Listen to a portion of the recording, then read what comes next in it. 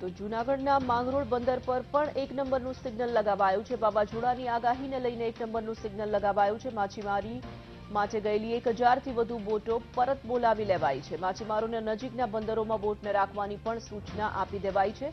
માંગરોળના દરિયામાં કરંટ યથાવત જોવા મળી રહ્યો છે. દરિયા કિનારે નહીં જવા માટે પણ સતત લોકોને સૂચિત કરવામાં આવી રહ્યા છે. સંવાદદાતા વિજયસિંહ પરમાર જોડાઈ ચૂક્યા છે. વિજય, જે રીતે વાવાઝોડાને લઈને તંત્ર એલર્ટ જોવા મળી રહ્યું છે. દરિયા કાંઠે શું પરિસ્થિતિ જોવા મળી રહી છે? કરંજ માંગરોળના દરિયામાં હજુ પણ યથાવત દેખાઈ રહ્યો છે.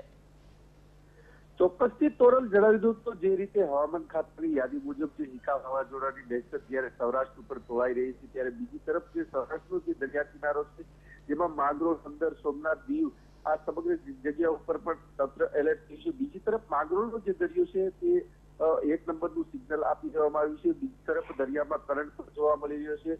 અને જે એક હજાર કરતા વધુ જે બોટો માછીમારી કરવા માટે માછીમારો જે દરિયામાં જઈ રહ્યા છે, તેમને પણ તંત્ર દ્વારા એલર્ટ કરી અને પરત બોલાવી લેવામાં આવે છે. અને સમગ્ર જે બોટો છે, જે પરત બોલાવી લીધી છે અને બાજુના જે બંદર હોય છે, ત્યાં પણ લાંબી દેવાની પણ સૂચના આપી દેવામાં આવી છે. આ સમગ્ર જે હિકા વાવાઝોડાના મામલે જ્યારે તંત્ર પણ એલર્ટ થયું છે સમગ્ર તૈયારી પણ કરી લેવામાં આવી છે. જી ધન્યવાદ જાણકારી માટે. તો તંત્ર દ્વારા તમામ તૈયારીઓને આખરી ઓપ આપી દેવાયો છે. દરિયા કિનારે નહીં જવા માટે સતત લોકોને સૂચિત પણ કરવામાં આવી રહ્યા છે અને માછીમારોને પણ દરિયો ન ખેડવા માટે માહિતી આપી